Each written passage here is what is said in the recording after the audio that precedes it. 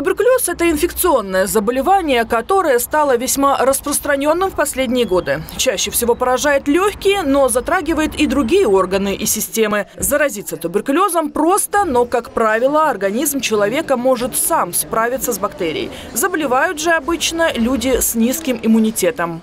Иммунитет наш, конечно же, в первую очередь зависит от нашего образа жизни, а, здорового питания, здоровый сон, физическая нагрузка. Клиническая симптоматика его следующая. Это кашель, вначале сухой, потом с мокротой. Возможно, кровохарканье, следы крови в мокроте. Вот, а, потливость дневная, а, особенно выраженная ночная потливость.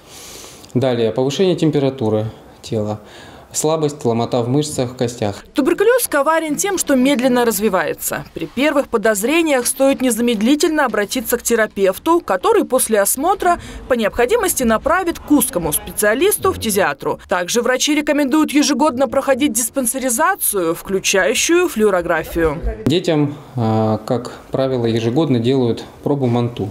Она, она не является прививкой, не является вакциной. Она просто показывает а, наличие а, микобактерий в организме, ну, проявляя той или иной реакцией. Также есть метод исследования диаскин-тест. Это для взрослых. А также под, подкожное введение элементов микобактерии.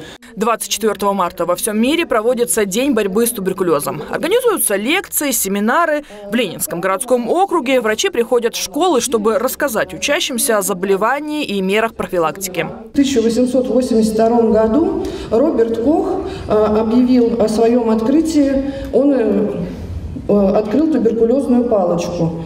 И потом она в процессе была названа палочкой Коха, то есть по его фамилии.